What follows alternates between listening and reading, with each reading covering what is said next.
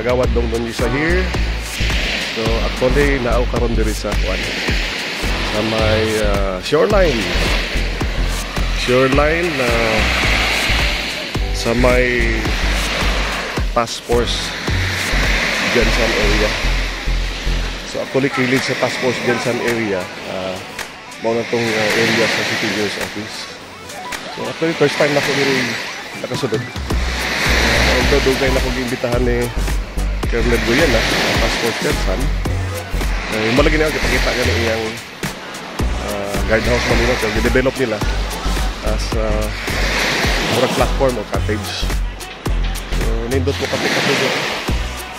Just take our cup of coffee earlier. So ano siya? Nindot siya. So ingon ni Colonel previously this area were occupied by about 21 houses, 21 families. So, pero kapag sila na-relocate na. So that's why karang area clear na siya.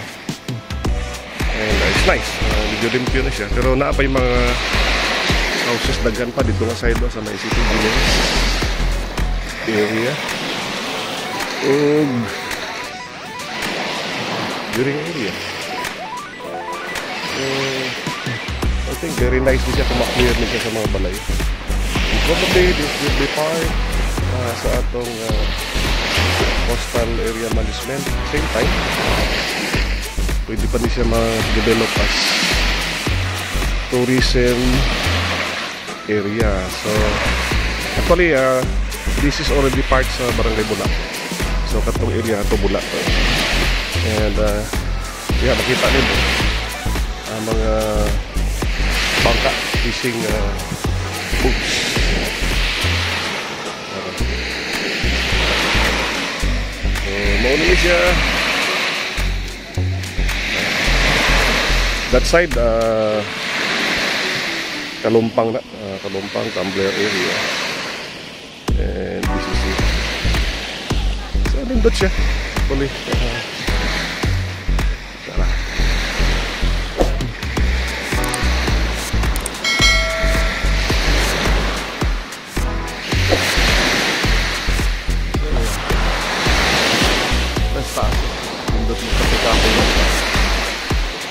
Yan.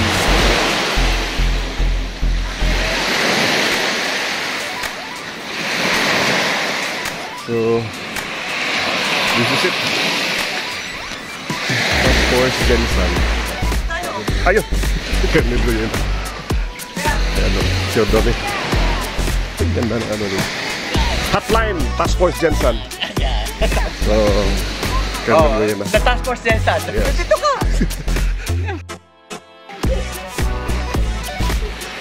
So, I'm here at the actually Task Force Jensen uh, compound here in Barangay Bula with Colonel Buena. So, ito na sila.